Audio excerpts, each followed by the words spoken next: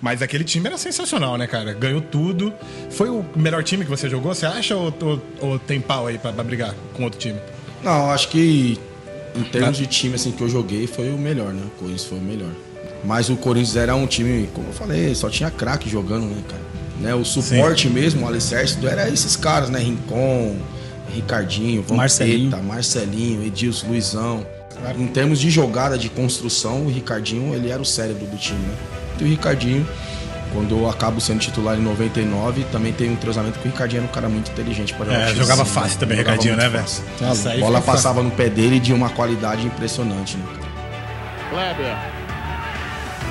Que toque, que tabela, invadiu,